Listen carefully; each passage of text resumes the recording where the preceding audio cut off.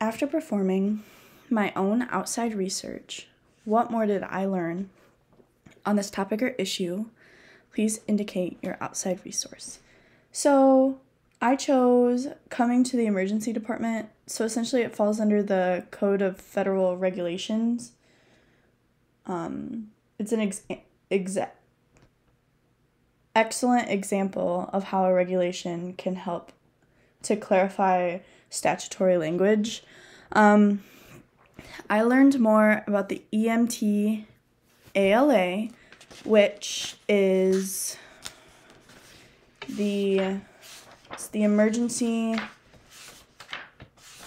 emergency medical treatment and labor act um, and how it applies to the hospitals especially who participates in medicare through their providers agreements um, the EM the emergent emergency medical treatment and labor act applies when a patient comes to the emergency department. They require medical att- attention.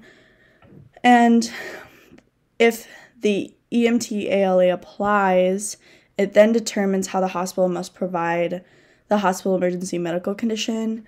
Um, so when it comes to coming to the emergency department it's a hospital's dedication to having a good, dedicated emergency department and then the request care for a medical condition. And this is coming from the HCCA. Um, so, what are the regula- regulatory and or legal implications of this topic or issue for hospitals and providers? Um, so, for hospitals, they have to have a, a dedicated emergency department and they have to have the ability to request examination or treatment for a medical condition or has such a request made on his or her behalf.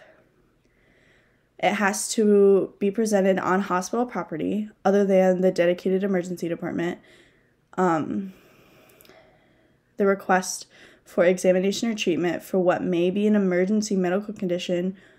Um, and it also has to be a ground or air ambulance owned and operated by the hospital for purposes of examination and treatment for a medical condition.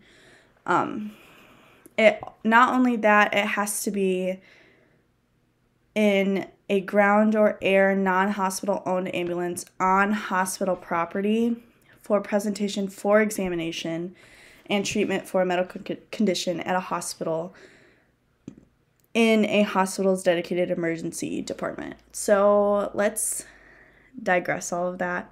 Um, so essentially, any type of medical treatment, in order for your insurance to cover it, it has to be on a hospital's ground. It has to be either in a emergency department, has to be in a hospital owned ambulance or air ambulance, also known as a helicopter.